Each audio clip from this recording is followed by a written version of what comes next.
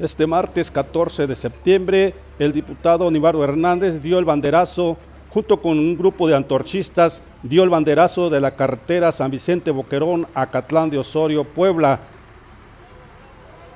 En el acto, el diputado antorchista habló de este logro y de otros que se han gestionado y que todavía estará pendiente para que se lleven a cabo en la Mixteca poblana.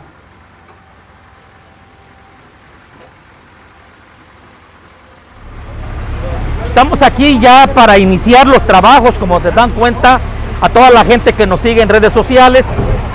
Estamos ya con el evento de el arranque de la obra, en donde el día de hoy vino la empresa, vino la autoridad que se le informó de esta importante obra, que son cuatro kilómetros, que cuestan 10 millones de pesos. La segunda etapa está programada para el inicio fiscal 2022 y también tengo algunos pendientes que he dejado, como es eh, la apertura del CENEFO en Acatlán. Platiqué con el fiscal eh, general del estado de Puebla para que este servicio que ha sido abandonado por la autoridad municipal se reabra porque varios ciudadanos me han perdido lamentablemente cuando pierden a un familiar tienen que trasladarlo para hacer la necropsia de ley a Izúcar de Matamoros, Atlisco, a Tehuacán. Me han pedido que se tenga todas las condiciones como los frigoríficos, el personal, que atienda este importante servicio que no lo tiene Acatlán. No es... Durante el banderazo de inicio de esta importante obra de pavimentación de la carretera San Vicente Boquerón Acatlán de Osorio, el diputado Nibardo Hernández explicó que no es posible como Acatlán, siendo cabecera de distrito, no cuente con estos servicios como el CEMEFO y la Casa de Justicia de la Mujer. No es posible que la cabecera distrital no se tenga. Tengo también que anunciarles la apertura de la Casa de Justicia, que presenté una iniciativa, así como la que presenté para que la danza de los tecuanes en Acatlán sean declarados patrimonio cultural de la humanidad, se pueda realizar, se pueda convocar, se pueda consensar y lograr esta gran iniciativa.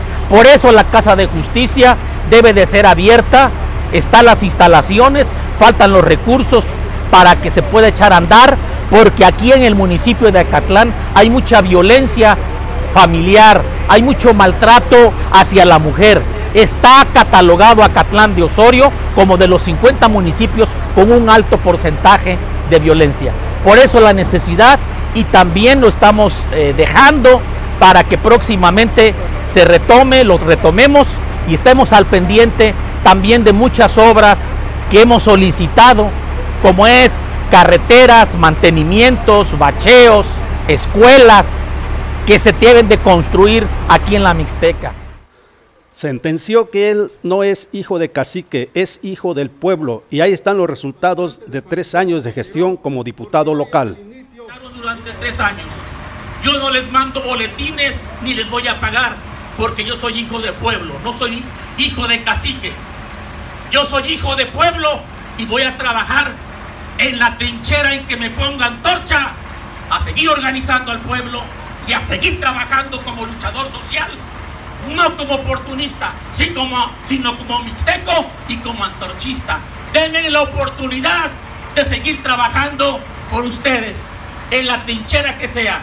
Aquí están los hechos, aquí están las palabras. Muchas gracias, don Javier. Muchas gracias, compañero de San Vicente Boquerón.